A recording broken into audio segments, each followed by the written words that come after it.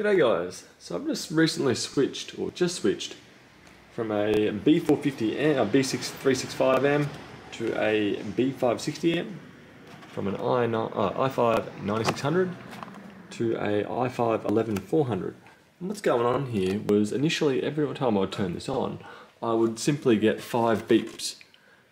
And looking up online, five beeps seem to correspond to the CPU, but a quick Google and I came across this fellow here from Electrolyte on Reddit, 5 beep code error.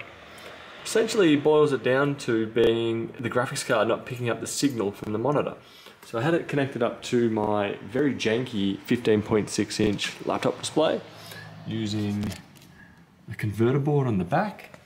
And essentially I left the computer on for probably about five minutes and eventually it got sync and those beep codes stopped and now it's starting up perfectly fine. So if you are experiencing five beep codes, check out your monitor, make sure it is connected up just fine. Possibly if you have alternative displays, do try those as well.